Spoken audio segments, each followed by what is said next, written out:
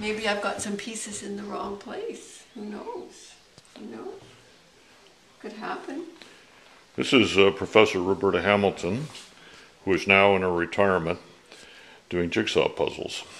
Yes, I am. And this is a fabulous jigsaw. Here, look at that. She just got one. Look And at she wants that. she wants her brother Jim Russell to know that she has been at work. Look at that. Yep. We're we're really here right now. This is Pierre Auguste Renoir, en français. Luncheon at the boating party. Whoa. Look at that. It's coming on, baby. Look at this. We're right here at the end, almost at the end. No. No.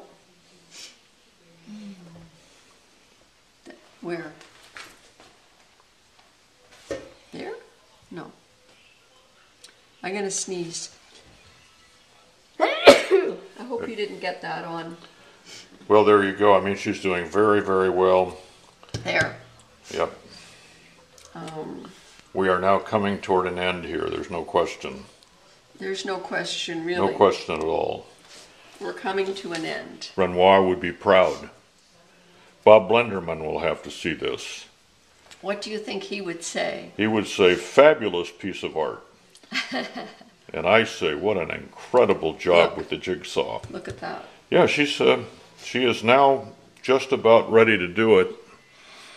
I.e., finish something that has uh, 1,000 pieces, right? Yes. She and her brother Jim, and who else? Jane Arrington, Uh huh. Jessica Hamilton. Yeah. Deanna at the beginning. Fabulous. And that's it. This is going to be it because we're out of juice here in Kingston. We haven't had winter either.